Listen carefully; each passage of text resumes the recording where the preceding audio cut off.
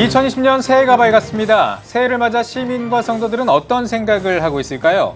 새해 소망을 전한 시민과 성도들을 만나봤습니다. 한 해 운세를 알아보기 위해 타로나 점을 보는 사람들이 많습니다. 신앙인들이 무속 신앙과 운세 문화를 주의하고 경계해야 하는 이유를 알아봅니다. 각 교단들은 올해 어떤 사역들을 준비하고 있을까요? 한국교회 주요 교단들의 신년 계획과 이슈를 살펴봤습니다.